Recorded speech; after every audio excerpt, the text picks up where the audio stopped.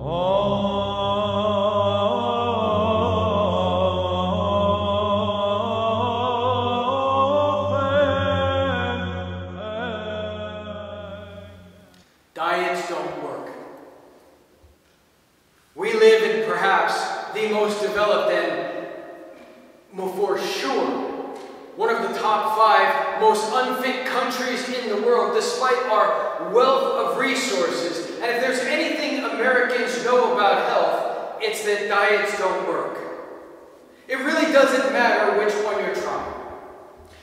doesn't matter if it's low carb or low fat, high protein, replacing a meal with a shake, only eating one meal a day, or eating a variety of times throughout the day.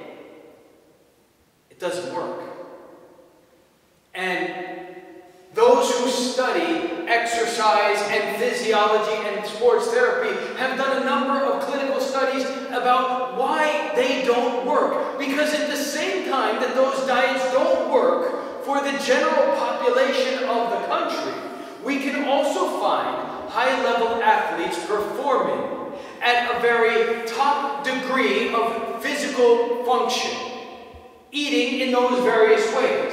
We can find athletes, we can find athletes at the highest of levels eating low fat, eating high fat, eating carbs, eating no carbs, and their bodies function at a higher level. So why would it work for them when it doesn't work for the rest of us? And what those studies find is that the reason that diets don't work is precisely because they're a diet. Because the person out in the general population undergoing it sees it as a temporary inconvenience, sees it as a stopgap measure in order to rectify a problem in the short term. But make no mistake, it is only tolerated, and as soon as it can be set aside, it will be for what we truly desire the cake, and pizza, and donuts. What makes those same diets work for the athlete is the fact that for the athlete, it is not a stopgap measure. It is not something that they're doing for a period of time. The entirety of their life is focused on a single pursuit the performance of excellence, the performance of physical excellence in their given field of sport. Everything in their life is tooled around achieving that goal. The places they go and the places they don't go. The sleep they get, the hours they get up, the friends they keep, and the nutrition that they put into their body is merely a means to that end, as is everything else. So rather than being a stopgap measure, what makes it work for the athlete is the athlete has a different mindset. It is the frame of mind that this is a pursuit that we have dedicated the entirety of our life to, and we intend for it to last an entire lifetime. That is the mindset that makes it work. Now,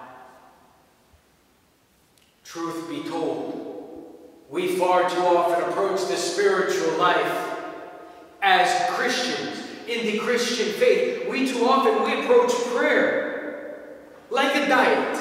We approach it like a stopgap measure. Some emergency thing that we reach out to when our lives have become a little bit too unfit. When spiritual health problems have cropped up and we're feeling a little bit spiritually flabby. We reach for prayer in a crisis. Our marriage is going downhill. Our job is on the rocks. We have a test to study for. Blue lights have gone on behind our car. Pray and we pray in distress that if you'll just get me out of this one. I mean it. The last time. This time for sure. See, we often treat prayer like a stopgap measure. And then we wonder why we don't see any fruits from it. We wonder why prayer doesn't deliver to our lives what it delivered to the saints. We wonder why the stories about miracles and healing and the grace of God and the appearance of the miraculous appear, uh, seem to us, when we read through the writings of our church, to be on the one hand very near, very immediate, very accessible, and yet on the other hand, very far away and removed from all of our common experience. See, the saints did not treat prayer and the saints did not treat repentance and its attendant struggle as a stopgap measure. It wasn't something to be reached for in a time of urgent crisis. Like the athlete, it was a way of life. It was the mode of being. And that is why St. Theophan the Recluse, picking up on our discussion from last month, when he gives his four conditions necessary for a spiritual life. The last two are to pray without ceasing and to struggle without stopping. How often is without ceasing? It's always. It's everywhere. It's at all times, under all circumstances. It's not a stopgap. It is a mode of life. This commandment appears both in the Gospels and in the other and in the epistles of St. Paul, where Christ says to pray unceasingly. And, and Paul also echoes that saying, pray, pray, pray without ceasing. And he says elsewhere, give thanks at all times. So both Paul and Jesus give this command, and this command was a near obsession to the early church. And the early fathers of the church asked, how in the world can we pray without ceasing? Indeed, it didn't start with them. David mentions it in the Psalms. He says again and again, I have seen you, O Lord, ever before me. Your word was ever on my lips. And so in the Egyptian desert, in the early years of Christianity, how this could be practically fleshed out and achieved was put to the test. The Egyptian monasteries were a bastion of many things, one of which was literacy. Saint Paphnutius, in, excuse me, Saint Pachomius, Saint Pachomius, in his monasteries, in order to enter in the gate, you had to be able to read. And before you could enter in, you had to stay in the outward area and memorize certain long passages from the gospel, as well as certain prayers that everyone in the community did, needed to know. If you arrived there and you could not read, you had to remain at the entrance until you learned how to read. And then once you learned how to read, you would memorize those items. And so everyone who wanted to so much as enter in either was literate, and if they were not literate, became literate, were taught literacy. And so the Egyptian monasteries were a bastion of literacy. They taught reading to others who had never had it previously available to them. And Pachomius' monks first tried to pray unceasingly by reciting these long passages from the Gospel they were going about their manual labor and throughout the day. And they quickly learned it doesn't work It doesn't work because you have to have conversations. You have to give instruction. One thing or another will distract your attention, and you'll lose your place. And then you'll become frustrated through losing your place, and then you'll lose your temper and you'll sin. Quickly we learned back in the Egyptian desert that you could take a short verse from Scripture, a brief line or two, and undistractedly pray it at all times. And we began to breathe it in and out, and we learned that we could speak, converse, give sermons, teach our monks, do our chores, labor with our hands, and never be distracted from this simple prayer. And a variety of formulas were floating around at the time. In St. John Cassian's day, the formula that everyone gravitated towards was from the beginning of Psalm 69 in the Septuagint numbering. O God, come to my assistance, O Lord, make haste to help me. But the one that would eventually win the day and become the standard for prayer within Orthodoxy, Lord Jesus Christ, Son of God, have mercy on me, a sinner, stemmed from that battlefield, from that testing ground. Because we realize that to pray without ceasing, prayer needed to be a mode of being. It had to stop being something that we did. It had to stop being a stopgap measure. And it had to be who we were. So quickly we began attaching it to the breath because you're always breathing. You're always talking. You're breathing in, even in your sleep. And so we breathe in, Lord Jesus Christ, Son of God, have mercy on me, a sinner. And every breath became a prayer to the Lord. As it says in Orthodox, let every breath praise the Lord. And we lived that. Third condition, indispensable for a spiritual life. Pray without ceasing. And indeed, prayer can be made this way at all times. It can be made while we're doing chores, it can be made while we're driving. It can be made under every circumstance because reality of our situation. He is Lord, He is God. What is easy for Him, what is difficult for us, is the easiest thing for Him. We are a sinner, fine. Have mercy. Help us. And that removes the anxiety because we're telling Him we need His help. We're confessing our dependence on Him, but we're also saying we don't need to know or meddle in what that help should look like. Simply have mercy. Help as you know how. We confess our powerlessness. We depend on your beneficence. So, what can we put into our head and still do that?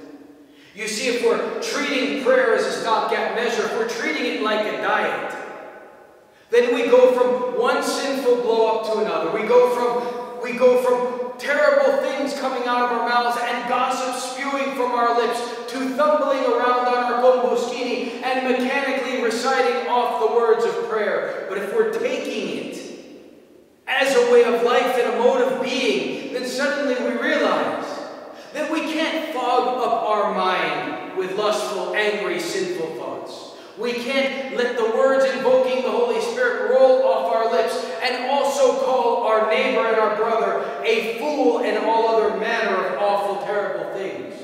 We can't run their reputation down and then say in the same breath, Praise God, bless his heart.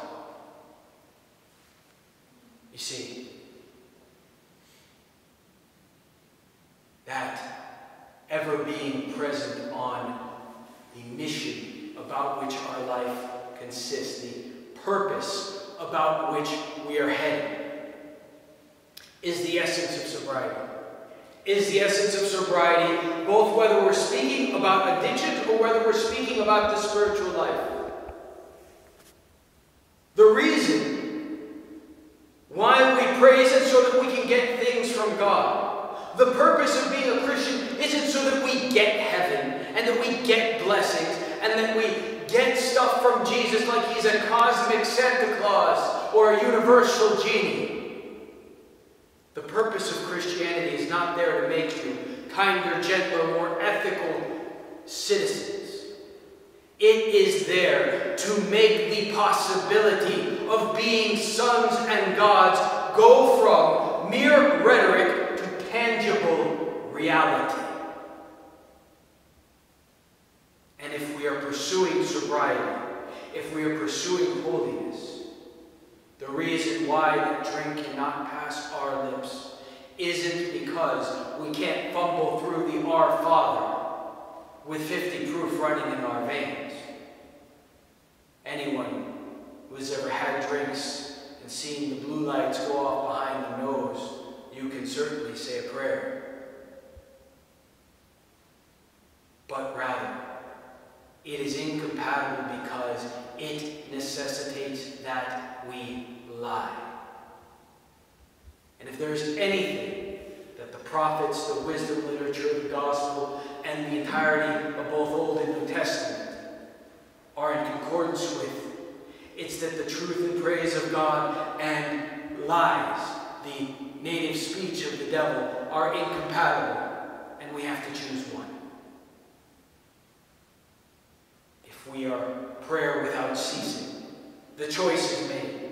It is firm. It is a state of being, as if we read what was written by Elder Emilianos of Simonopetra. He says that when we speak about prayer, we most commonly call it prosevchi. Prosevchi, from the verb prosevko, of course. Prosevchi means a prayer, but it's prosevchi, pros towards, and evchi, a wish means to send a wish towards. But when we speak about prayer of the heart, about the Jesus prayer, about continual prayer in the Orthodox Church, we simply call it in Greek ievchi, without the prefix towards. And Elder Emilianos of Simonopetra, blessed memory, repose a year ago,